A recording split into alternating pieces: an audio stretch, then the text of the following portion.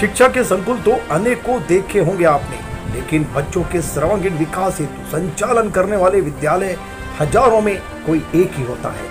गोरखपुर ज़िले के भिनवाटिकर में स्थापित माधव पब्लिक स्कूल बच्चों में बहुआयामी प्रतिभा संपादन करने के लिए महत्वपूर्ण भूमिका निभा रहा है। इस शिक्षा स्थान में सामान्य शिक्षा के साथ टेक्नोलॉजी और विज्ञान का संशोधन भी सिखाया जाता है। तो कला और खेल कूद से स्वस्थ जीवन का पाठ भी पढ़ाया जाता है।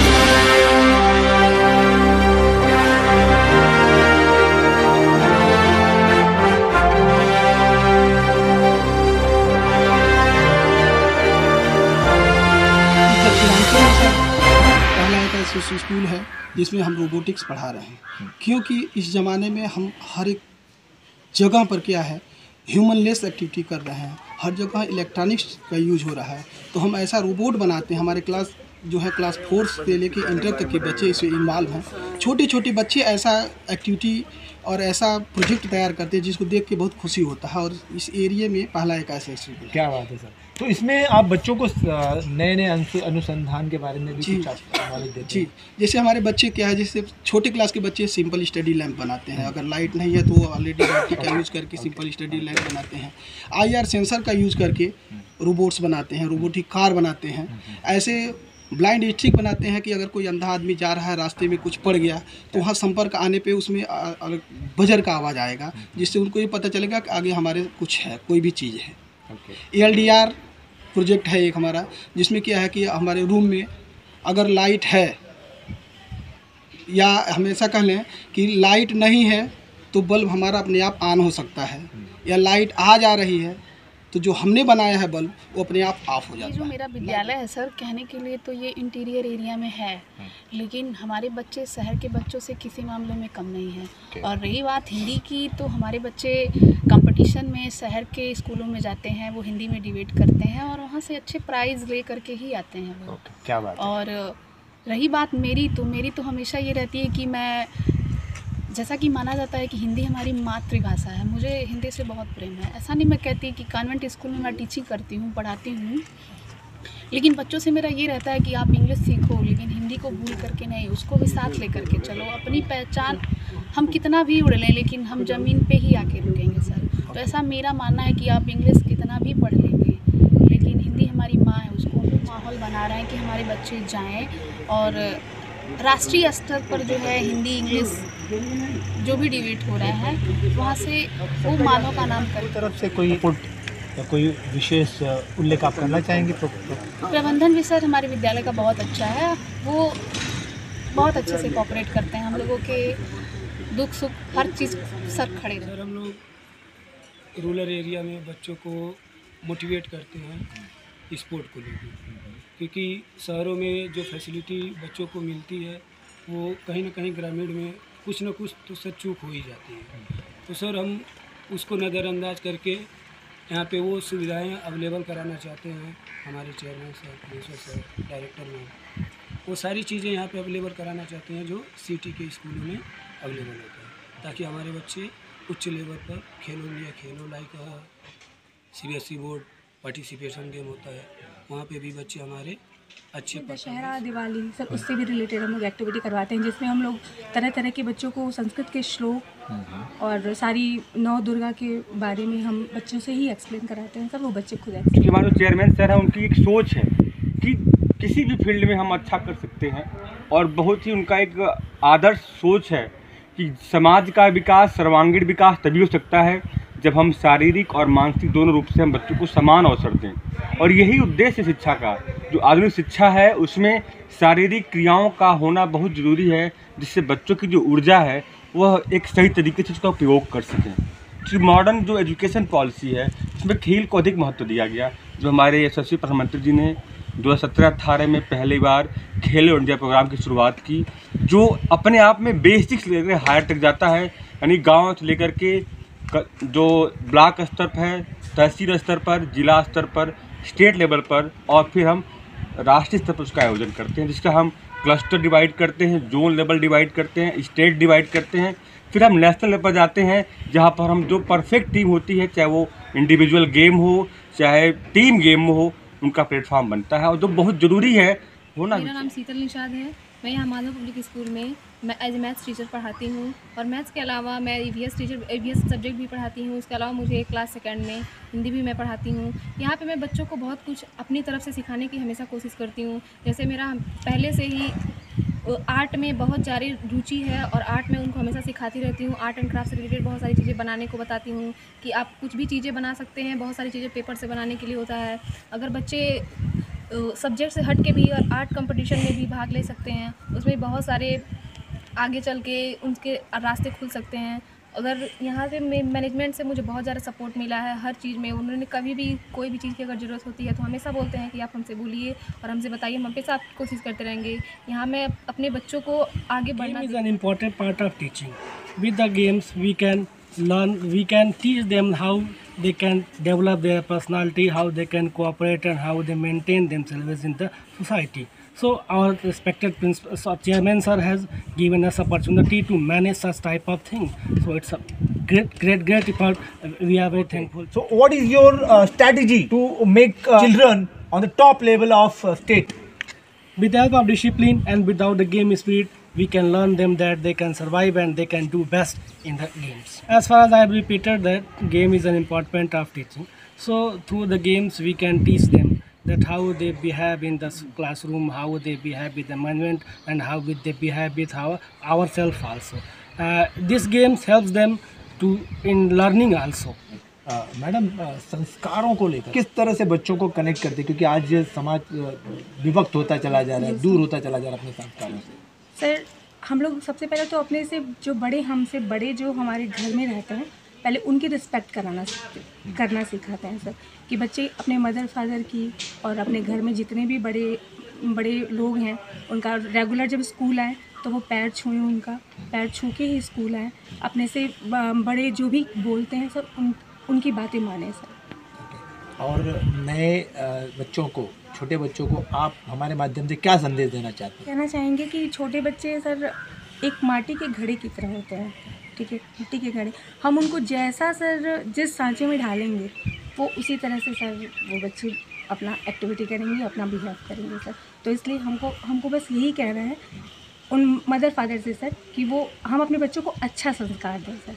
क्योंकि हम जैसा बच्चों को सिखाएँगे शिक्षा बच्चा ही नहीं बल्कि संस्कार के माध्यम से खेलों के माध्यम से और अलग अलग एक्टिविटी के माध्यम से हम शिक्षा देने का प्रयत्न करते हैं। हमारे यहाँ सुनियोजित लैब्स हैं हमारे यहाँ अच्छा प्लेग्राउंड है अच्छा माहौल है। जैसा कि शहर के विद्यालयों में आपको देखने को मिलता है कि हमारा जो शहर का विद्यालय है वहाँ पर शिक्षा तो मिलती है लेकिन साथ ही साथ वहाँ उनका वो अच्छा सा इन्वायरमेंट नहीं मिल पाता जिसकी वजह से उनका विचार संकुचित संकुचित हो जाता है, बहुत ही बढ़िया डेवलप नहीं कर पाता, लेकिन यहाँ पर ऐसा शानदार सा माहौल हमारे चेयरमैन सर ने, हमारे प्रबंधक महोदय ने दिया है, जिस वजह से यहाँ पर हरियाली, यहाँ पर हमारे बागवानी और साथ ही साथ बढ़िया सा प्लेग्राउंड है खेल का मैदान है, जहाँ पर सभी प्रकार के खेल होते रहते हैं और साथ ही साथ हमारे जो शिक्षा की गुणवत्ता है, हमारे सभी टीचर शहर से आते हैं और सबसे सबसे बड़ी बात यह है कि यहाँ के आसपास में किसी भी विद्यालय में रोबोटिक्स जैसी एक हाईटेक शिक्षा नहीं है। हमारे विद्यालय में बच्चों को रोबोटिक्स सीखने का पूरा का पूरा अवसर दिया जाता है। क्लास सिक्स से लेकर के ट्वेल्थ तक के सभी बच्चे अपना कुछ ना कुछ साइंस में या रोबोटिक्स में अपना अपना प्रोजेक्ट बनाते रहते हैं और हमारे भविष्य के लिए बहुत ही अच्छा एक सुनहरा अवसर है। मेरा यही कहना है कि जैसा कि आप लोगों ने देखा कि आज हमारे मानव में तीन दिवसीय खेल का अमृत महोत्सव मनाया गया जिसका आज समापन था। बच्चों ने खेल के लिए अपनी जी जान लगा दिए थे। और लास्ट में जो हाउस विनर रहा वो- आपका ही रहा। हाँ मेरा ही रहा सर येलो हाउस लेकिन मेरे हाउस मेरे हाउस के बच्चों ने मुझे यकीन नहीं था कि वो इतने हाई लेवल पे मेच्योर अभी से हो चुके हैं वो अपनी जो अपोजिट पार्टी थी सर उनको कहीं से उन्होंने एहसास नहीं होने दिया अपनी खुशी सर उनको साथ लेके सेलिब्रेट किए मुझे देख के बहुत अच्छा लगा। क्या बात है। तो देखिए आपके अंदर बच्चों को लीडर बनाने की भी कला अच्छी है। क्या बच्चे खुद एक लीडर नहीं है? देखिए सर लीडरशिप करने के लिए सबसे पहले तो हमें ईमानदार होना चाहिए। Yellow house blue house green house red house सारे हाउस के बच्चे मेरे हैं। अगर वो जीतेंगे सर तभी हम जीतेंगे। कहते हैं ना कि शिक्षक का पहचान कभी होगा जब एक विद्यार्थी जो है आगे बढ़ के नाम कमाएगा, तभी सर टीचर भी नाम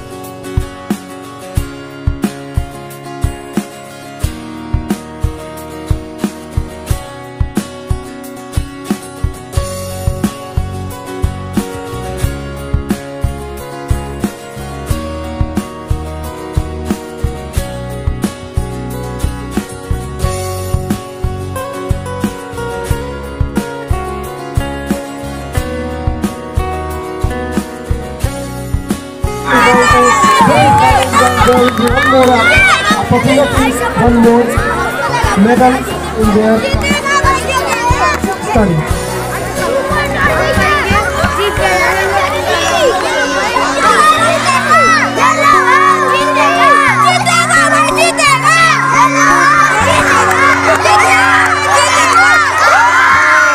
आज माधव पब्लिक स्कूल का जो तीन दिवसीय खेलकूद प्रतियोगिता का कार्यक्रम था, वो समाप्त हुआ है तो आइए जानते हैं छात्रों को शिक्षा देने वाले उनकी शारीरिक कवायद कराने वाले स्पोर्ट्स के प्रतिनिधि जो हैं वो आपका नाम सर? मिस्टर रमेश कुमार दुबे। दुबे जी इस स्पोर्ट्स कंपटीशन के लिए इस प्रतियोगिता तीन दूसरी प्रतियोगिता को किस तरह से आपने संचालित किया?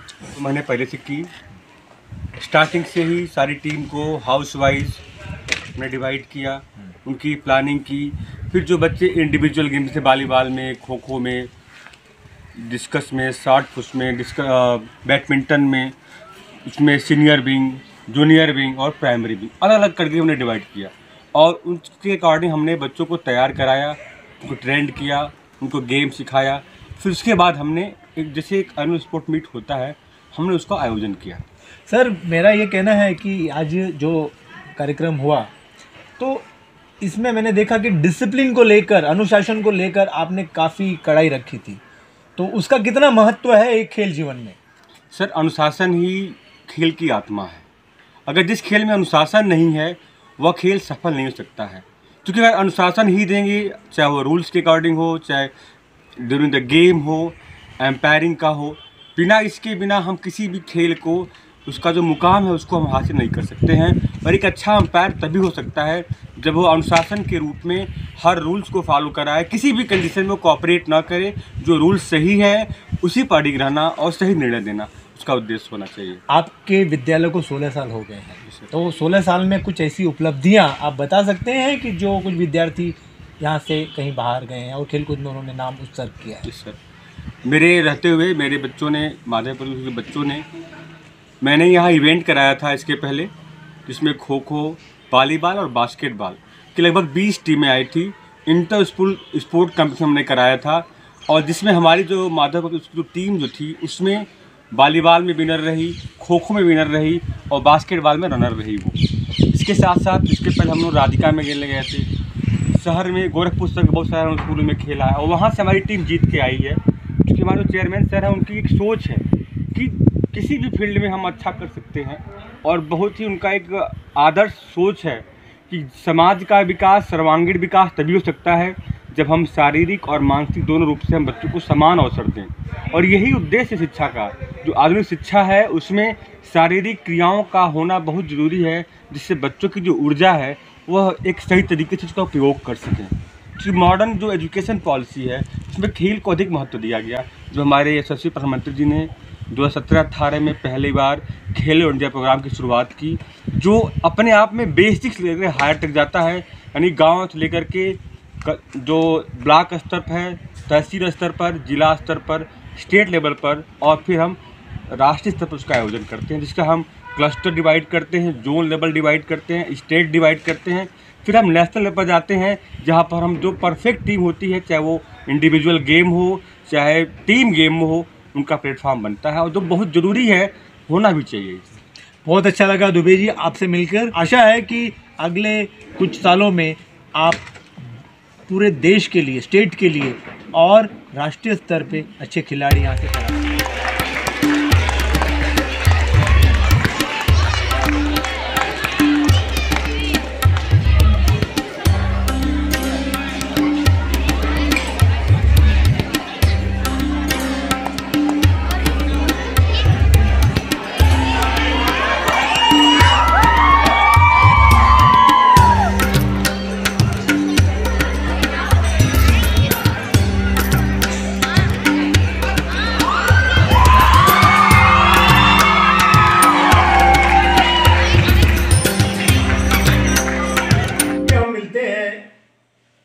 माधव पब्लिक स्कूल बेनुआ टिकर के श्री इंद्रजीत ओझा जी से। इन्होंने इस स्कूल के स्थापना से लेकर और आज इसके विकास तक इनका क्या योगदान रहा इन्होंने कैसी योजना बना के काम किया है आइए हम उस पर चर्चा करते हैं। नमस्कार सर। कि ये स्कूल आपका आज पूरे गोरखपुर ही नहीं पूर्वांचल में एक विशेष स्वरूप बनाता चला जा रहा है। तो इसके पीछे क्या रहा है? सबसे पहले तो हम आपको धन्यवाद देते हैं। आपके न्यूज़ चैनल की टीम को धन्यवाद देते हैं कि आप हमको कुछ करने के लिए अवसर दे रहे हैं। इसके लिए बहुत बहुत धन्यवाद। आपने जैसा कि पूछा कि इस विद्यालय के स्थापना का क्या उद्देश्य था? इस विद्यालय के स्थापना का उद्देश्य था कि यहाँ पर जो ग्रामीण अंचल के बच्चे में जो प्रतिभा है, उनको निखारना। और जो गाँव से पलायन था शहर के तरफ़, उसको कुछ प्रयास करके रोकना। हर गार्जियन उसके पास सामर्थ्य और शक्ति नहीं है कि वो शहर में जा कर के इतने महँगाई में वो शिक्षा अर्जित कर सके। तो मेरे मन में ये बात आई कि कुछ यहाँ पर अपने लोगों के बीच में इस जगह पर हम बच्चों के स्किल को लेकर के एक स्कूल की स्थापना का प्रयास किए और आज ये सोलह साल पूरा हो, हो गया। अप्रैल से सत्रहवा साल शुरू होगा।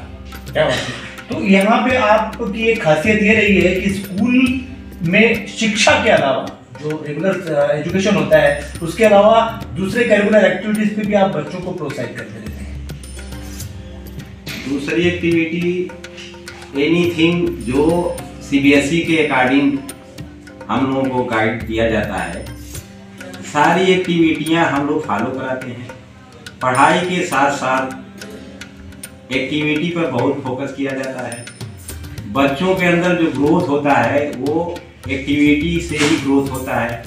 एक्टिविटी में वो सीखते हैं, अपने सीनियर के साथ सीखते हैं। छोटी छोटी एक्टिविटियाँ हैं, बच्चे करते हैं एलकेजी से लेकर के वो सीनियर क्लास तक के। अभी रिसेंटली एक बहुत बड़ा आयोजन खेल का हुआ है, जिसमें आप इन लोगों के साथ पार्टिसिपेट किए हैं। तो इसी माध्यम से हमारा पूरा प्रयास रहता है कि बच्चों के अंदर हंड्रेड परसेंट उनको एजुकेशन सर्वांगीण विकास के साथ साथ देने का प्रयास करते हैं टेक्निकली एजुकेशन हो गया, खेल हो गया, लेकिन उसके साथ ही साथ हमारे सनातन धर्म और एक अपनी संस्कृति को बचाए रखना और उसकी समृद्धि के लिए आप बच्चों में कैसा ज्ञान देते हैं? इसके लिए तो हम आपको बहुत बहुत धन्यवाद देते हैं। मेरा मोटो ही रहा है कि शिक्षा के साथ संस्कार। संस्कार के साथ ही जो शिक्षा हम अर्जित करेंगे वो हमारे जीवन पर्यंत काम करेगी। शिक्षा अनिवार्य है, लेकिन संस्कार के साथ ही। तो संस्कार से जुड़ी बहुत कुछ चीज़ें हैं जो अपने स्कूल में कन्या पूजन के माध्यम से बच्चों के अंदर अंदर हम प्रयास करते हैं। उनके अंदर वो भाव डालते हैं कि जो हमारी सनातन रीतियाँ हैं, उसको अपने आचरण में फॉलो करें। सुबह उठ करके सबसे पहले पृथ्वी माता का नमस्कार करें, अपने माता पिता का पैर छुएँ और अपने श्रेष्ठ जनों का वो नमस्कार करने के बाद अपने गुरुजनों का और विद्यालय में वो फिर आते हैं। और इस क्रम में मैं देखता हूँ कि बच्चों के अंदर बहुत ही अच्छे संस्कार हैं और बहुत सारे अतिथि यहाँ आते हैं और इसका वो, प्रशंसा भी करते हैं। तो पब्लिक स्कूल एक आपका ड्रीम प्लान है जिसको आप आगे बढ़ाना चाहते हैं। इसमें संस्कार सृजन और बच्चों की ओवरऑल बहुआयामी प्रतिभा को आप आगे बढ़ाना चाहते हैं। मेरा एक आखिरी प्रश्न रहेगा कि इस संस्थान को अगले दस साल बाद आप कहाँ देखना चाहते हैं? देखिए, बात और हम बताना चाहेंगे आपको। जो बच्चे पैदा होते हैं तो वो चलना कहाँ से सीखते हैं? बोलना कहाँ से सीखते हैं? और खाना कहाँ से सीखते हैं? जब बच्चे छोटे होते हैं तो वो देख के सीखते हैं कि हमारे आसपास जो परिवेश है, वो देखते हैं फिर वो अभ्यास में आ जाता है, वो चलने लगते हैं। हम बच्चे ही जो परिवार का कल्चर है, देख करके वो खाने के लिए सीखते हैं। घर में एक वातावरण है बोलचाल का, उसको भी सीखते हैं। और उसी क्रम में जो है, हम अपने परिवार में सारे अभिभावक से मेरा आग्रह रहता है कि आप अपने परिवार में एक अच्छा वातावरण बनाएँ, एक अच्छा माहौल बनाएँ। बच्चे देख के ही सीखते हैं। अगर आपके परिवार में अच्छी चीज़ें हैं जो बच्चों को जीवन में अप्लाई करती हैं, उसको आप प्रयास करें। जो आगे चल के मेरा प्लान है, इस विद्यालय को एक सुसंस्कृतिक संस्कृत के अनुसार पाठ्यक्रम जो है, हम उसको फॉलो कराएँगे। अभी हम एक प्लान कर रहे हैं कि बच्चों को गीता का कुछ श्लोक का भी प्रैक्टिस कराएँ इस विद्यालय में, जिससे उनके जीवन में जो भी बाधाएँ हैं, जो भी समस्याएँ आती है, खास करके देखेंगे, जो युवा है छोटी छोटी बातों पर वो अग्रेसिव हो जाते हैं।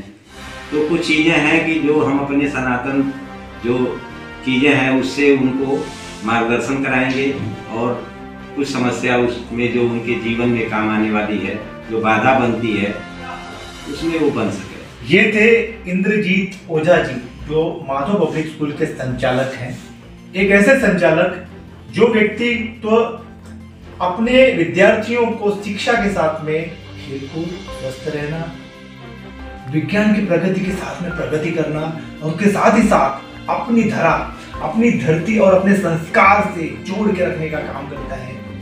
धन्यवाद देते हैं श्री इंद्रजीत ओझा जी का और हमारी शुभकामना रहेगी कि उनका ये संस्थान दिन प्रतिदिन धन्यवाद।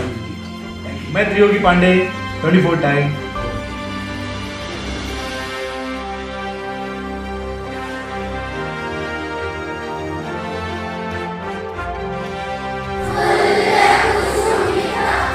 पिछले तीन दिनों से जारी वार्षिक खेल महोत्सव के समापन के बाद विद्यार्थियों ने नव वर्ष के आगाज़ का स्वागत भी अपने विशेष अंदाज में किया।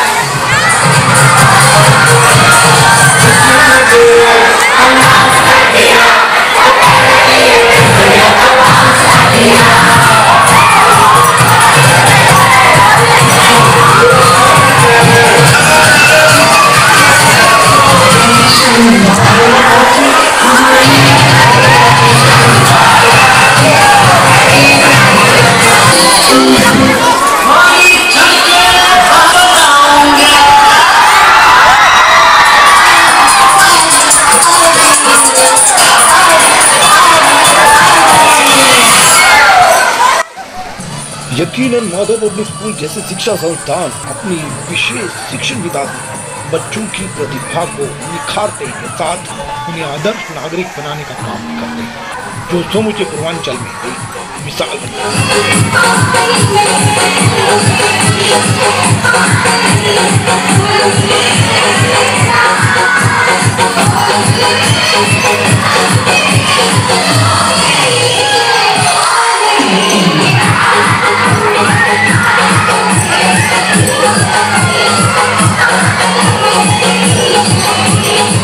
Google Play and App Store. Download it now.